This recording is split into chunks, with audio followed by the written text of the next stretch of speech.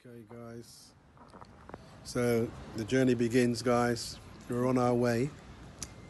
We're on our way. We're in Lisbon. Alhamdulillah, we made it. Alhamdulillah. So we're gonna look for food now. We've just we've got to be in transit for like nine hours. So we're gonna settle in. Inshallah. Yeah, we're going to settle in. Uh, see if we can get some food. After that, find a nice place to, you know, to relax. Even this is quite nice. Look, look at these here.